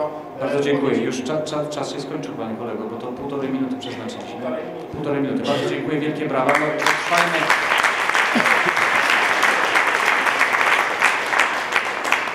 Proszę Państwa, to jest najbardziej tajemniczy aspekt dzisiejszej debaty. Nikt tak naprawdę nie wie, gdzie mieszka ten upiór w operze, który włącza i wyłącza nam te rolety, ale już daj im dojść do sufitu. I prosimy tych, którzy tam blisko włączników i wyłączników stoją, żeby nie ulegali pokusie. Ja wiem, że to jest fajne, bo można włączyć i uciec schodami. Ale już nie róbcie tego. A wy w końcu dojście do końca. Bardzo dziękuję. Nigdy więcej. Dobrze, proszę Państwa, czy ktoś z, pan, z Pań i Panów chciałby zabrać głos po stronie opozycji tezy? Bardzo proszę. Półtorej minuty, na to zapraszam tutaj do mikrofonu i nie dłużej niż pół minuty. Marta Raj? Czy to jest możliwe? Jeżeli świeci się zielone światełko, to owszem, jeśli nie, to nie. E, Marta Raj, British Alumni Society. E, Chciałabym e, wypowiedzieć się w opozycji do tej tezy. Chciałam powiedzieć, że nic to jest bardzo dużo albo bardzo mało. I tak jak pokazała szanowna opozycja, wydaje mi się, że jednak możliwości, jakie w Polsce mamy, jest naprawdę dużo więcej niż nic. Moje pytanie jest zupełnie inne i być może tutaj jest problem. Pytanie jest takie, czy Polacy dorośli już do tego, żeby coś swoją osobą zaoferować Polsce i po te możliwości sięgnąć. Wydaje mi się, że dużym problemem jest to, że szkoła, że studia, w tym także prywatne uczelnie, tutaj e, uprzedzając pytania o to, czy studia są e, prawda, wspierane przez państwo, czy nie, nie przygotowują młodych ludzi do tego, czym jest szukanie pracy, czym jest praca, czym jest codzienne chodzenie do tej pracy i zmaganie się z problemami, rozwiązywanie ich. To, co w Wielkiej Brytanii się dzieje, to to, że ludzie są... Czy koleżanka chce przyjąć pytanie? Dziękuję. To, co w Wielkiej Brytanii się dzieje, to to, że ludzie są tego uczeni od najmłodszych lat. W Holandii, we Francji, my po prostu uczymy się, jak to być, być dorosły, a nie tylko e, myślimy, że chodzenie na lekcje i chodzenie na wykłady, zdawanie e, egzaminów już da nam świetlaną przyszłość. Dziękuję bardzo, dziękuję bardzo. Chciałbym powiedzieć, chciałbym tylko powiedzieć, proszę Państwa, że ci, którzy występują z sali również mają prawo odrzucania, ale i przyjmowania pytań. Także tu y, za, zasady nie są w żaden sposób inne. Czy ktoś z Pani i Panów chciałby siłą swoich argumentów wesprzeć stronę propozycji? Proszę bardzo, półtorej minuty. Jacek Mickła, Stowarzyszenie Alumni. Proszę Państwa, ja nawiązuję do y, tutaj tezy czy punktu pana Konrada Wołkowskiego, który powiedział, zastanówmy się nad tym, co my możemy zaoferować Polsce. E, ale to nie jest teza debaty. Ja się z Panem... Może, mam mało czasu. Nie dziękuję albo bardzo proszę. Polska nie ma nic do zaoferowania i dlatego chciałem nawiązać tutaj do Pani Maliwiczek, która mówiła, że jest wysoki współczynnik innowacyjności u nas. Ale to oznacza, że to obywatele czy też absolwenci mogą coś zaoferować Polsce, a nie, że Polska może coś zaoferować absolwentom. Więc właściwie wydaje mi się, że Pani udowodniła tezę propozycji. Proszę. Po pierwsze, chciałem powiedzieć, że e, a propos innowacyjności, jeżeli definiujemy Polskę, tak jak propozycja ją definiowała jako i Polaków, to w takim razie nasza, ta, ten punkt ma sens w takim znaczeniu. I druga, chciałem pokazać, że jeżeli, a propos mojego punktu, jeżeli my myślimy, co my możemy zaoferować Polsce, to jeżeli odpowiedź brzmi tak, to jest bardzo silny argument za tym, że też Polska nam może zaoferować to, że jesteśmy w stanie coś zmienić. Dziękuję bardzo. Dziękuję bardzo. Wielkie brawo, to był Jacek Miński. Czy ktoś z Pani Panów na sali siłą swoich argumentów chciałby, chciałby wesprzeć stronę opozycji tezy? Bardzo proszę.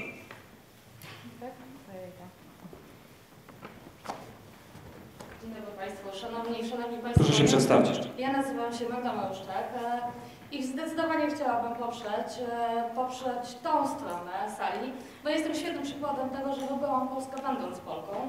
Tutaj skończyłam studia, tutaj na ostatnim roku, pomiędzy czwartym a piątym rokiem wyjechałam do Anglii jak to wtedy wszyscy studenci robili, był rok 98 po to, żeby e, dorobić i wrócić do Polski, żeby mieć na następny rok studiów, po czym zdałam egzaminy, testy kwalifikacyjne do ogromnego koncernu, a ponieważ studiowałam zarządzanie i marketing, to nie jest dokładnie, przynajmniej w tamtych czasach nie była e, bardzo popularna dziedzina.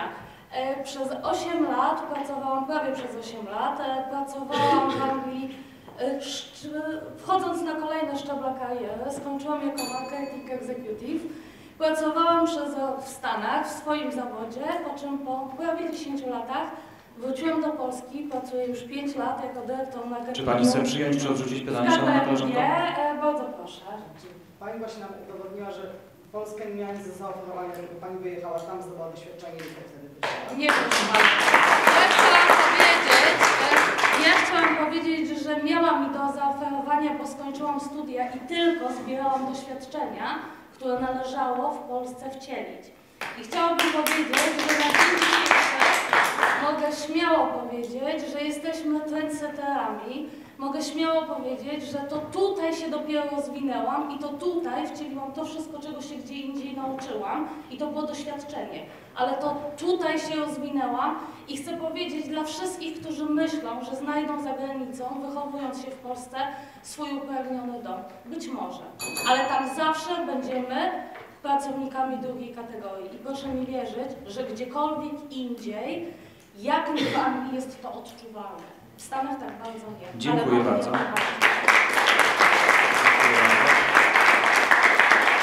Chciałbym też powiedzieć, proszę Państwa, zanim zapomnę, bo zawsze zapominam zapowiedzieć, po- powiedzieć, a teraz akurat mi się przypomniało, jeśli Państwo chcecie regularnie brać udział w naszych debatach, a nie dostajecie tych informacji, na pewno przy wyjściu będzie, będą nasi przyjaciele z Young Talent Management z taką listą, gdzie można dopisać swoje e, adresy e-mailowe i wtedy nie ominie Was żadna z tych naszych debat, które regularnie organizujemy i na Uniwersytecie Warszawskim i w Polskim Radiu. E, To była strona opozycji. Czy ktoś z Pani Panów na sali chciałby zabrać głos po stronie propozycji? Proszę bardzo.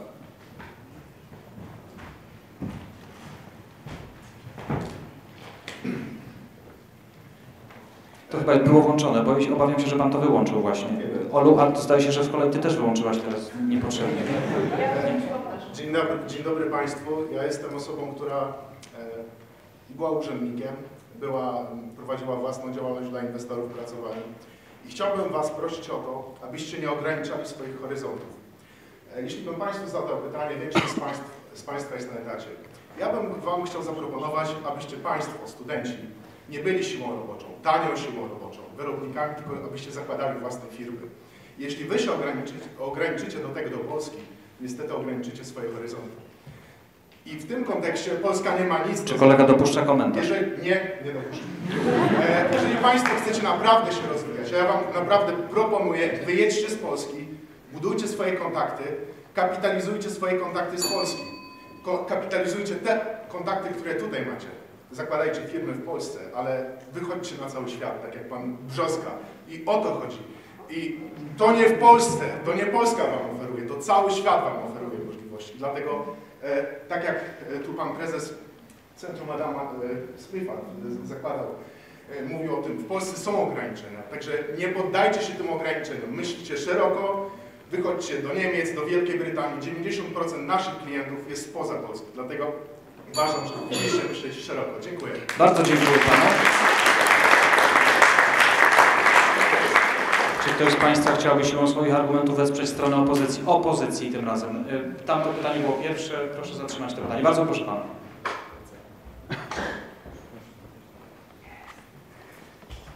Chyba trzeba włączyć mikrofon. Tomasz Cebo, Uniwersytet w Cambridge. Ja chciałem powiedzieć, że ze strony propozycji usłyszeliśmy cztery punkty i w tych punktach w Polsce jest źle, to prawda. Ale skoro jest źle, to należy to zmienić. A skoro trzeba zmieniać, to jest to ciekawe wyzwanie. Ja samemu zajmuję się naukami ścisłymi i znam pięć osób, które studiowały, robiły doktoraty za granicą, wróciły do kraju po postdokach i pracują w kraju, te pięć osób, i zmieniają polską naukę.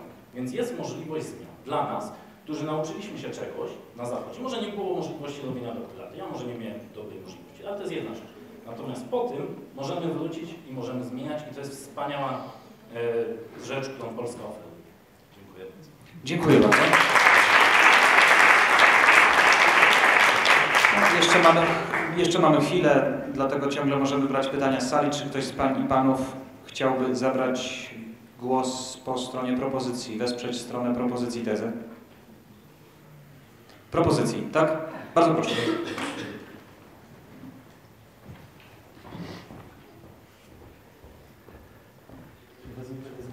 Trzeba włączyć. Wszyscy z uporem włączają i wyłączają. Wystarczy je zostawić, wystarczy ich nie ruszać. One. A, rozumiem, rozumiem.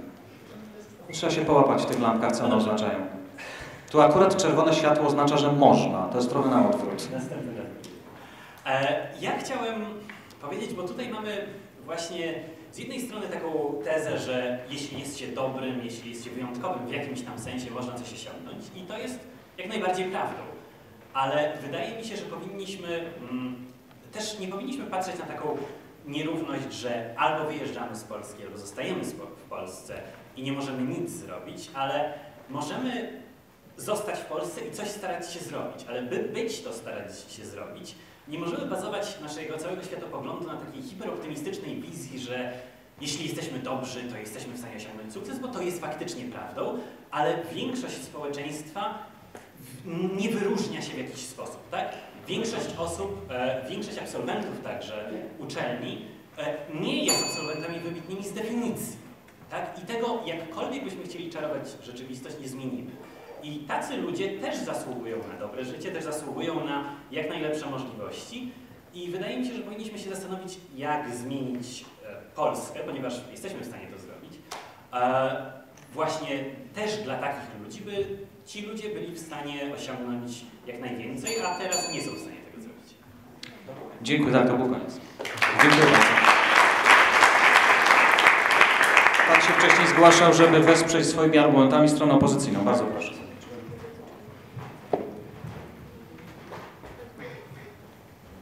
Dzień dobry, Damian Jamros. Będę korzystał. E, chciałem powiedzieć na samym początku, że było po prostu bardzo dużo argumentów ze strony e, UW oraz ekspertów wspomagających, jednakże nikt nie powiedział o możliwościach, które mamy w Polsce. Nikt nie powiedział o tym, że programy rozwijające się takie jak Government 2.0 czy też nowy program sektorowy pomocy innowacyjności dopiero wszedł w 2014 roku, a tak, tak naprawdę dopiero wchodzi w realizację w 2015 roku.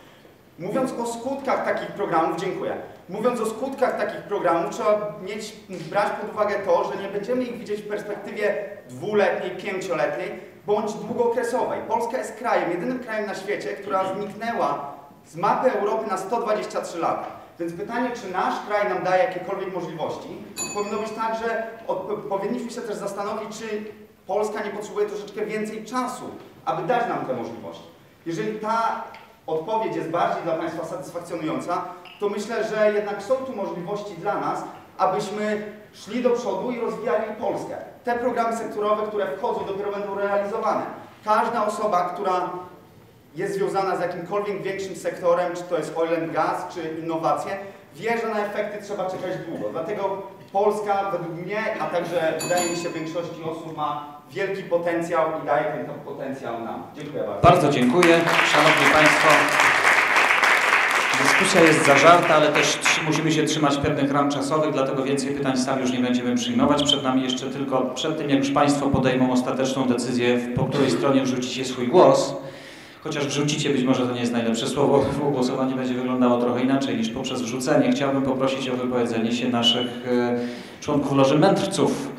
Andrzej Reich, e, Andrzej Reich, który jest dzisiaj występuje w roli członka Rady Programowej European Financial Congress i który przysłuchiwał się tej debacie. Każdy z Państwa ma po jednym głosie, każdy członek Loży Mędrców ma po trzy głosy, także trochę competitive advantage nad całą resztą publiczności. No i macie dwie minuty na to, żeby ją podsumować i opowiedzieć się po którejś ze stron, chociaż to dla Państwa w żaden sposób nie jest obligujące. Chciałbym to zaznaczyć. Bardzo proszę, Andrzej Reich. Panie Andrzeju, być może ten mikrofon będzie po prostu lepszy dla, dla Pana. O, chyba, chyba działa. Dziękuję bardzo. Jeśli można, ja na początek stanę po środku, bo mam skomentować. Także, Szanowny Panie Marszałku, Szanowna Propozycjo, Szanowna Opozycja, Szanowni Państwo. Y, Zadanie jest, powiedziałbym, trochę trudne, dlatego że propozycja zdefiniowała y, temat, a potem odeszła od tej definicji. Czy Polska ma coś do zaoferowania? Polska, czyli państwo, władze, ludzie, instytucje, kultura itd. To zostało powiedziane. To zostało przez Państwa podkreślane w różnych momentach, że to są również ludzie. Tymczasem usłyszeliśmy coś, co ja bym y, potraktował trochę jak książkę życzeń i zażaleń, bo rzeczywiście to był taki socjalizm. Państwo ma nam dać, państwo nie daje. Mam z tym poważny problem. Dlaczego nie mówimy o tym, co mielibyśmy zrobić, tylko nie możemy? Dlaczego mówimy tylko i wyłącznie państwo powinno, a my nie pytaj, co możesz zrobić, co Ameryka może zrobić dla ciebie. Słynne powiedzenie. Powiedz, co ty możesz zrobić dla Ameryki. Te argumenty padały po tej stronie. Co my możemy zrobić dla Polski? Polski, która daje nam ogromne możliwości, jeśli chcemy. Oczywiście, że nie wszystkim. Jednym się uda, innym się nie uda. To jest wszędzie. Gdybyśmy popatrzyli na Polaków mieszkających w Anglii, jedni rozwinęli się świetnie, innych za każdym razem, gdy jestem w Anglii, spotykam wieczorem wracając do hotelu, kiedy dostają darmowe jedzenie. To są bezdomni. Wszędzie tak. Panie Andrzeju, czas powoli zbliża się do Tak, końca. w Obawiam się, związku że z tym, konkludować. w związku z tym, tak, moja konkluzja jest następująca. Y, tu nie przekonaliście mnie Państwo swoją postawą roszczeniową. W związku z tym oddaję swoje głosy opozycji. Bardzo dziękuję. Andrzej Raj. Ale jeszcze raz, jeszcze raz podkreślam, proszę Państwa, te, to doradztwo Loży Mędrców nie jest dla Państwa w żaden sposób obligujące. Pan Krzysztof Bobiński, absol- absolwent Oxfordu, dziennikarz, ale też prezes Towarzystwa Absolwentów Oxford i Cambridge. Działa, działa. Działa. Dziękuję bardzo. Y, Proszę Państwa, ja z rosnącym y, paniką właściwie słucham tej debaty, bo z każdym kolejnym mówcą y, wyjmujecie mi rzeczy, które tu sobie zapisałem do powiedzenia. A teraz mnie kompletnie już załatwił pan Reich, bo wyjechał z Ken- Kennedy, a ja też chciałem cytować Kennedy'ego. Proszę Państwa, y, więc, ale powiem i tak, bo jak skoro zapisane, to się, inaczej się zmarnuje. Więc ja się zgadzam z panią Reich, że strona tutaj po prawej stronie nie da, po, po, w zasadzie mówiła, nie da się tu, trzeba wyjechać. A strona ta powiedziała, no da się tu, jest nawet łatwiej, więc, więc przy, przyjeżdż, wracajmy. Y, Prawda jest taka, że wyzwania są i tu, i tam. Y, Tam nie jest łatwo, bo tak jak mówił Pan tutaj, że y, trzeba się odnaleźć, trzeba się odnaleźć w, obcym środowisku, trzeba się znaleźć, odnaleźć w obcym kulturowym środowisku. To się da zrobić, ale nie jest to łatwe. Po tej stronie, po, po drugiej stronie jest wyzwanie, trzeba zmierzyć się z problemami, y, które tr- trapią Polskę, s- polskie społeczeństwo, to znaczy ta strona to mówi, powinna to mówić, trzeba się zmierzyć z problemami, które trapią polskie społeczeństwo i trzeba to społeczeństwo zmieniać.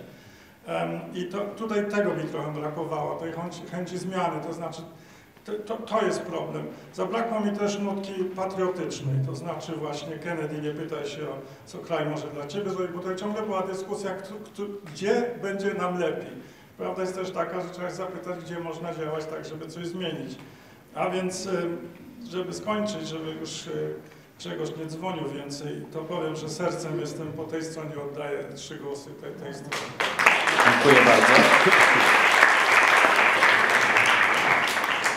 Funkcja moja powinna się nazywać dzwonnik, ale nie z Notre Dame.